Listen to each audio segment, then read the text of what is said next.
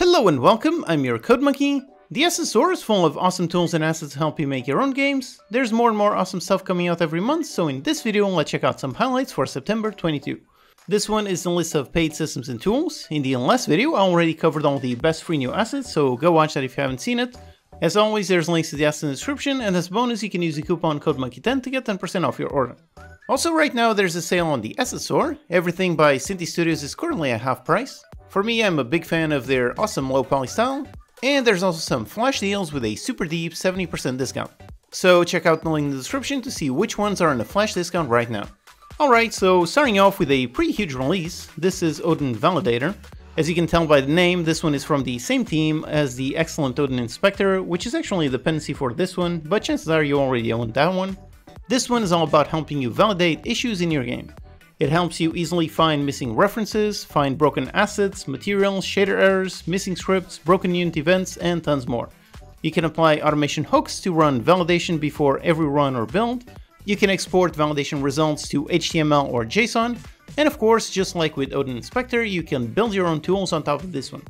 There's all kinds of attributes you can add to your code to make sure everything works exactly as you intend. If you forget something, it will help you find the problem and fix it. So this one definitely looks like an excellent addition to the already excellent Odin Inspector. Then here's a fun tool, a 3D mask. Like the name implies, you can add a mask in 3D, so you make a quad and change what you can see through that quad. This is one of those things that looks really simple, but if you've ever tried doing this yourself, then you know how complex it can be. There's lots of issues with shaders, depth buffers, Z ordering, and so on, so having a simple, easy to use tool to achieve this effect is definitely very worthwhile.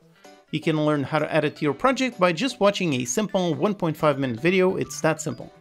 Then an interesting tool all about quaternions. For me, I've been using Unity for 10 years now and I still have trouble with quaternions. For the most part, I pretty much just completely avoid them. So this tool helps to make that easier. With one line of code, you can rotate the object exactly as you want it. Now, I'm still not exactly sure on exactly what it does. After watching the video and reading the description, I still don't get it, but the promise of easy quaternions certainly has me intrigued. Up next, do you need millions of blades of grass in your game? Then check out this tool. Like the name implies, it's GPU based, meaning super fast and supports tons of objects. This one is a replacement to Unity's terrain grass system, which is apparently CPU based. This one is on the GPU, so there are no hitches on changing LODs, you can render on multiple terrains, it also supports wind, you can color the grass and make it blend with the bottom terrain. Certainly, the results in the video definitely speak for themselves. Then if you want to damage a mesh, look at this tool. The deformation certainly looks very realistic, you can apply it to any mesh. This would be perfect for any game that features collision damage, like for example any car game. It works in real time and you can deform and repair with code. It's lightweight and performant, all with nicely commented scripts. And speaking of vehicles, if you've ever wanted to make a motocross game, then look at this one. As a kid, I remember having tons of fun playing Motocross Madness. It was a really fun game where you could drive your bike around and do all kinds of tricks.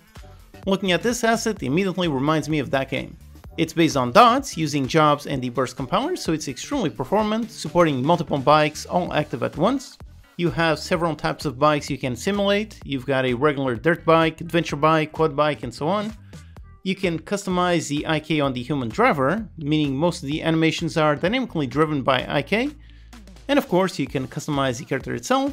And one more fun bonus feature is it has a POV camera designed by using a GoPro camera in real life. So it definitely makes it look really interesting. Then here's a very professional tool for super low latency streaming. That is usually the main problem with tools that do live video. This one is meant for you to show real-time gameplay as fast as possible. For example, you can see what someone is seeing through their HoloLens, you can share virtual reality with friends, collaborate in real time, and a bunch more. The main thing is stability and performance. Then for a UI tool with some strange but interesting effects, you can make some UI elements merge into one another, you can make them dissolve into different shapes and some other weird effects, it's all based on regular UI objects in TextMesh Pro. Definitely a strange thing, but it certainly makes your UI look very unique. Up next, if you're working on a retro low poly game, then look at this low poly terrain editor. You can place and rotate textures, automatically place some detail and import a height map. You can make automatic texturing based on terrain height. And being low poly means you can pick up each individual vertex in terrain and make some really low poly shapes. Then if you need a way to record audio in the game, here's a simple tool. It does exactly what you expect, so you can record audio in a multitude of formats. You can grab it from whatever audio source the player has. Then perhaps you can use that audio and let the player add it to their own gameplay clips, or maybe use it to send a voicemail to some friends in game, or perhaps combine it with some kind of cloud machine learning to add voice controls to your game. Alright, so those are my top 10 new tools and systems on the Unity Asset Store for September 22. There's links to all in the description, and as a bonus you can use the coupon code monkey10 to get 10% off your order. And also check out my own free and paid ads on the store. Alright, hope that's useful, check out these videos to learn some more. Thanks to these awesome Patreon supporters for making these videos possible. Thank you for watching and I'll see you next time.